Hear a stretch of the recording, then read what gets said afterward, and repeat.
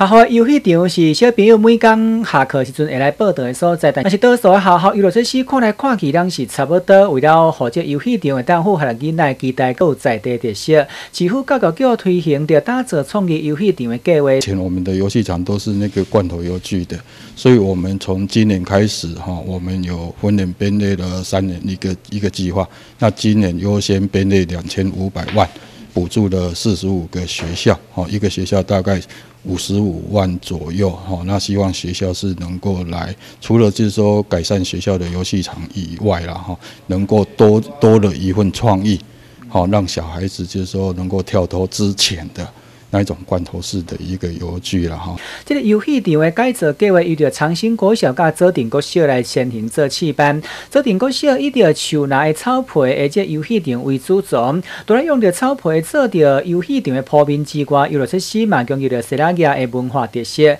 包括着芒果寮、西拉雅的图案甲这吊桥点。那佐定国小这边大概就是因为它是位在西拉雅风景区里面，所以它整个的一个设计，哦也。结合了一个西西拉雅的一个一个特色，两所学校完工之后，说实在，真的对小朋友来讲，又有一个新奇的，又有一个不一样的。我想跟平常在外面所